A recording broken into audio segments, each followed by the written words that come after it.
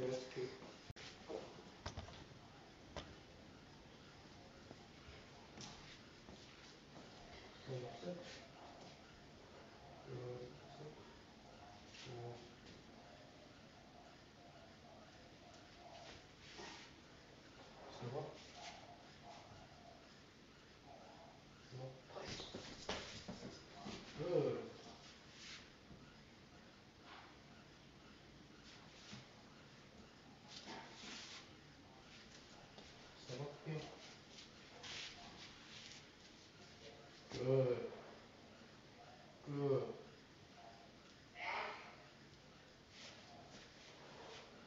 Stand up. Place. Oh, try again. Heel.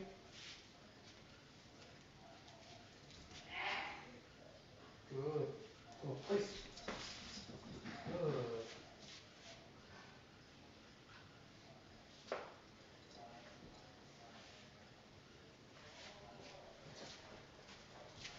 Stand up. Heel.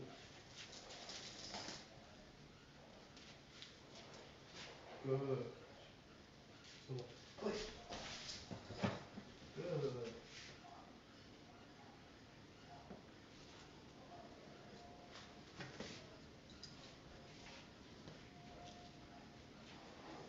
Stand up, heel. Good. Stand up. Place. Good.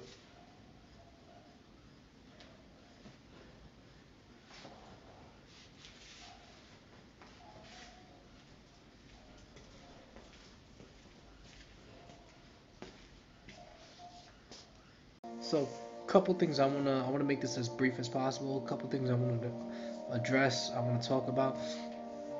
Um, number one, calmness. Calmness is everything, and calmness has to be taught. There's a common denominator that I'm seeing of all the dogs I'm working with and um, the clients' dogs. It's always the common denominator is the handler. It's always the owner that speaks with this uppity, um, uppity tone, all this um, unnecessary praising, all this baby talk. Oh, you're so handsome. You're so pretty. Hand wrestling with the dog, um, getting the dog excited when it doesn't need to be excited, and just keep in mind that the general behavior of the dog, the more a dog acts a certain way, that's generally who they become.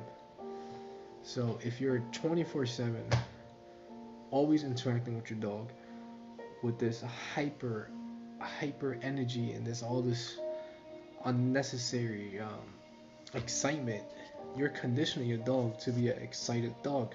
And an excited dog that wags its tail is not always a happy dog. That's the misconception that most people have. Um,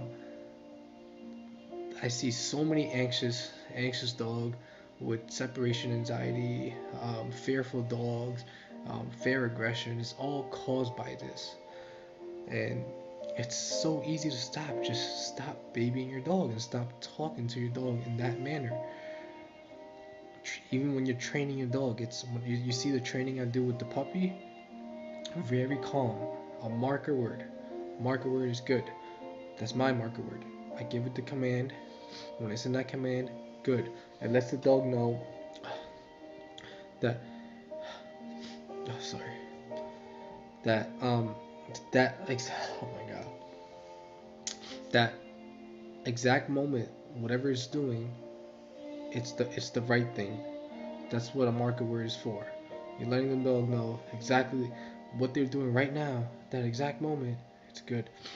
And people praise their dogs the wrong timing. Timing is everything. If you're praising it, always be wary of your dog's state of mind. If you're praising it when it's excited, um, you're you're you're telling it it's good to be excited, and confidence is built through a calm dog. A calm dog is is not a reactive dog. You know, it's a, a excited dog is a dog that acts instinctually. It's a dog that don't listen unless you trained unless you train the dog under excitement.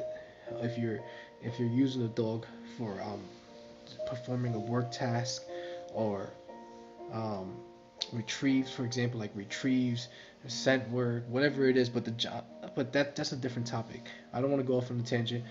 But the general pet owner, general pet owner, don't need the dog to be excited. Um, it's too much excitement. There's an on and there's also an on and off um, button when I um, on and off, kind of like an on and off switch when I when I'm with my dogs.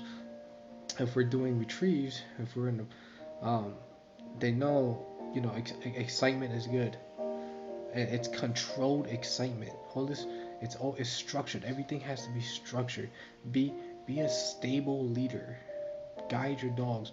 You don't want to be this um, unstable, frantic, hectic leader that seems like they they have nothing in control. Let your dog know you're calm, assertive. You have their environment taken care of. They don't have to be reactive. Be calm. Everything is good. They they take in everything that you do. Your body language, your your, your tone. Um, the way you handle the way you handle them the way you play with them the way you praise them you know the way how much discipline they're getting. It's what they're getting away with. It's they're absorbing all of this and it's it's piecing together what you are to them and the relationship you have with them. And all this excitement baby talk doesn't translate to love. Not at all. So don't so don't for a second think that's love. It's not. Um even when i'm playing with the even when I'm playing with the dogs, with um, the puppy, with toys, it's it's it's real structured, real structured, and it's calm. It's calm, or if it's or it's you know controlled excitement. Um, and that's another topic, toys. I don't want to get too much into it, but toys is supposed to be an engagement tool.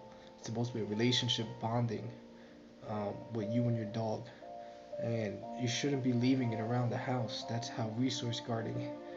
That's that's that's where resource guarding starts. Um, the dog starts to see the toy, the rope, whatever it is, as theirs, and another dog walks by, growling because it's resource guarding. Um, you take it. You you can eliminate that by just taking it away when you're done with the toy. When you're done playing with your dog and you're letting your dog know I'm in control. We play when we play. When I say we play, we stop when when we stop. And you, all of this, every little thing you do with your dog, just improves general behavior. Um, but back to calmness, even training. When you're praising your dog, you want to be always, always watching the body language of your dog, seeing make sure you're not praising at the wrong time. You don't want to. You want to keep your dog calm before you praise it, before you give it the marker word. If you can see, the, all the dogs that come to me, all the clients' dog, my dogs, dogs I work with, they don't need help um, getting excited.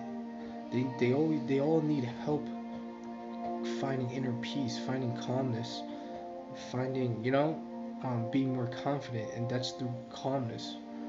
Um, it's because all their life they had no structure, no guidance. Nobody told them how to behave except for you know all of this hand wrestling and flipping the dog, pushing the dog, um, um, baby talking, s- screaming. You know, it's very calm. Keep everything black and white. Be very stable. Be very clear. Be very clear of what you like and what you don't like. Um, no gray in between, just black and white. And you'll be better off. I'm telling you, calmness is calmness is taught. Ninety more than ninety percent of the day, my dogs are doing nothing. They're calm. They're happy. They're content. They're not bored. I take them out, train them. Well, it's not training. It's more of a lifestyle. It's, when people think of training dogs, they think it's it's a chore. It's a lifestyle of a dog. You know, for example, you're going on a walk. The they should always be in the heel. Um, everything they do is, it, it's just a lifestyle change, and then you you you'll see a much better dog once you start realizing how you are interacting with do- your dog every second of the day and what your dog you should know what your dog is, is doing every second of the day you know i for winter time days like this very cold maybe i'll if it's very very cold i'll just run a bunch of training drills in the house and then the rest of the day they're laying down doing nothing um, or i'll go for a walk and then the rest of the day they're doing nothing laying down happy content peaceful. But anyways, I'm gonna cut this video. Stop the baby talk. Stop this uppity um, energy. You're you're setting your dog up for failure. So I have a bunch of calm dogs right here. Calm, crate, calm, and calm. So that is it.